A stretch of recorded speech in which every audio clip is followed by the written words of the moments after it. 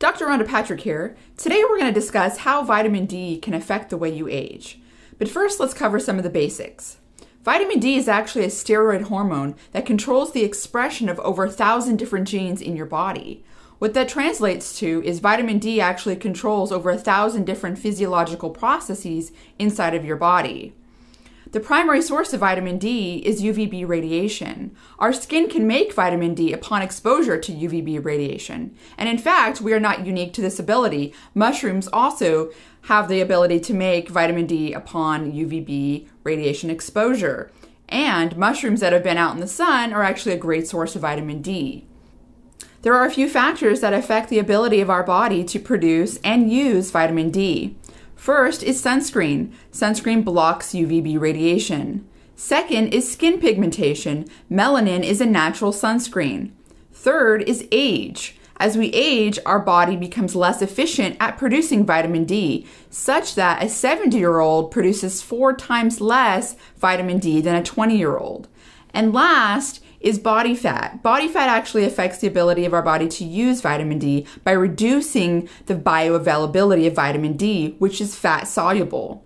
So the more fat that you have, the more vitamin D stored in that fat and less of it's being released into the bloodstream. There is a sweet spot when it comes to vitamin D. Too much can almost be as bad as too little. The optimum levels of vitamin D in serum are considered to be between 30 and 80 nanograms per milliliter.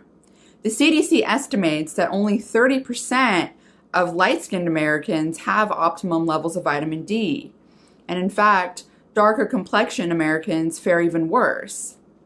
The best and safest way to increase your vitamin D levels is through increasing your dietary intake. The richest source of vitamin D is fish, and as far as supplementation goes, the National Institute of Medicine set the tolerable upper intake of vitamin D at 4,000 international units a day. Since it's often difficult to assess how much vitamin D you should be supplementing per day, it's a good idea to routinely get your vitamin D levels tested.